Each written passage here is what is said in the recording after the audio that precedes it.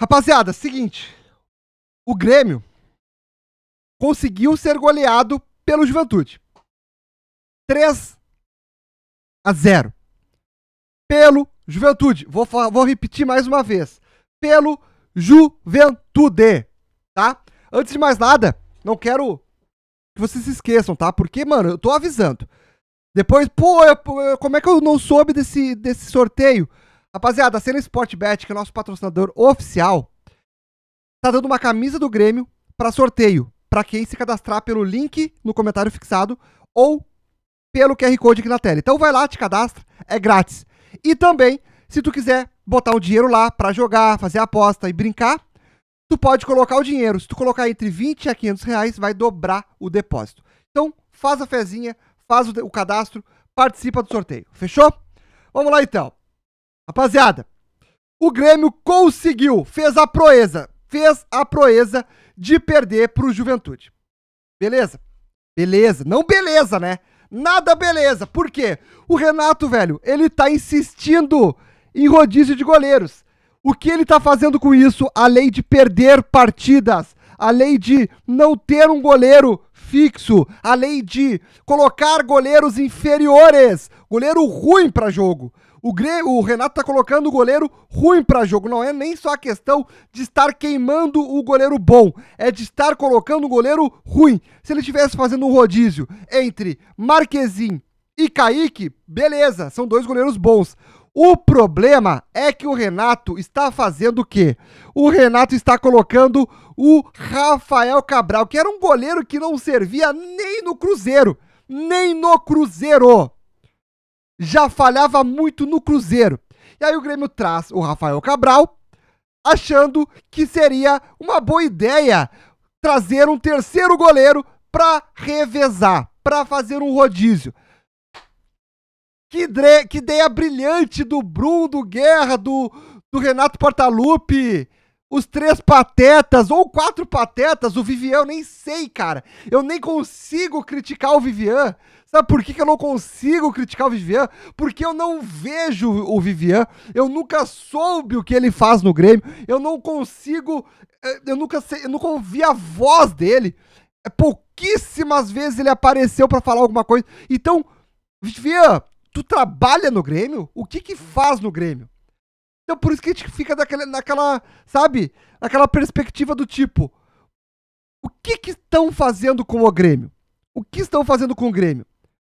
Aí, mano, eles só dão mais insumos pra gente defender o Calef.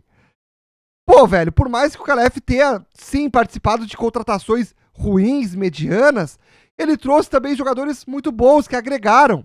O próprio Luizito Soares foi o próprio Calef que trouxe.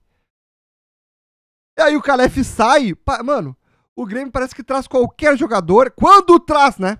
Quando traz, porque chegou no momento que a gente não tem nem centroavante. Não temos centroavante no elenco. Vocês se deram por conta disso? Não temos. Não temos, cara. Não temos centroavante. E aí? É culpa de quem? Guerra, Brum, Renato, Vivian, que a gente nunca vê. É impressionante. E a demora hoje também na coletiva demonstra que alguma coisa aconteceu ou vai acontecer. E se não acontecer, rapaziada, rapaziada, o protesto vai ser grande. Eu já tô até vendo. A torcida não vai ter paciência. 2021 foi se arrastando, se arrastando, se arrastando até que caímos. Caímos! O Grêmio não pode deixar isso acontecer. A nossa torcida não pode, esses dirigentes que estão lá não podem, Renato não pode, esses jogadores mercenários não podem. O Grêmio não pode cair por uma quarta vez.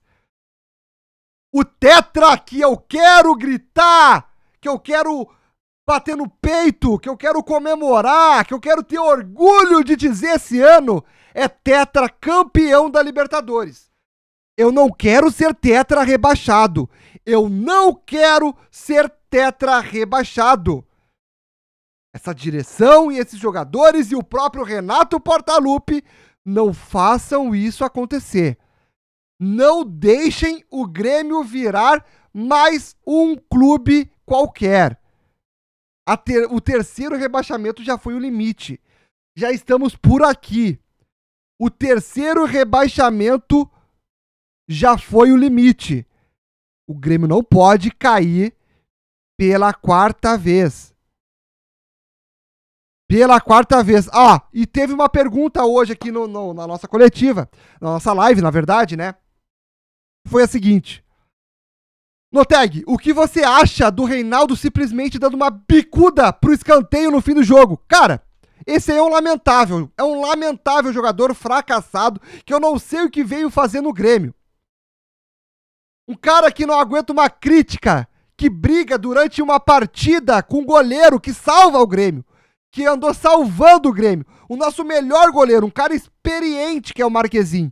Um cara que não aguentou escutar uma crítica de um goleiro experiente. O cara que, mano, o Marquezinho é, é, é papo de ser capitão do Grêmio. Só pra vocês terem ideia. O Marquezinho tá mais preocupado com o Grêmio do que os próprios dirigentes, do que os, os próprios uh, jogadores, os outros jogadores e o próprio Renato.